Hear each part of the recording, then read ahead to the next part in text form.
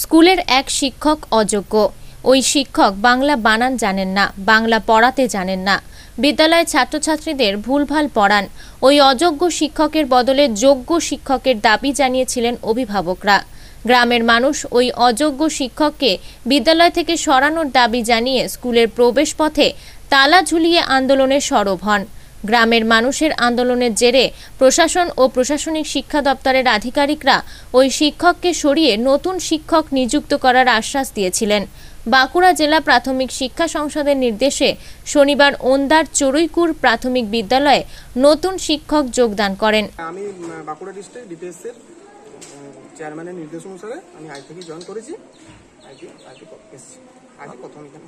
আজ থেকে ক্লাস শুরু করলেন? হ্যাঁ আজকে ক্লাস শুরু ছেলেদের পড়াচ্ছেন কেমন লাগছে? হ্যাঁ আচ্ছা খুবই ভালো।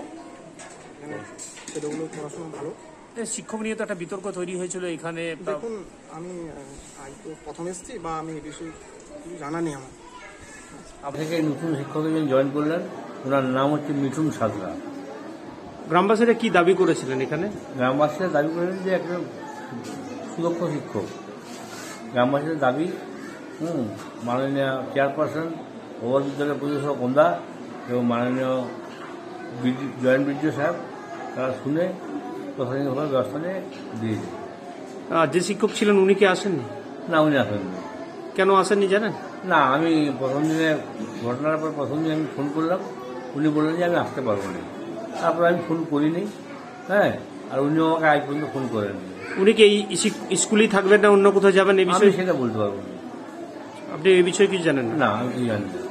এলাকার মানুষ শিক্ষা সংসদ দপ্তরকে ধন্যবাদ জানান। জয়েন করেছে, আমরা দেখলাম।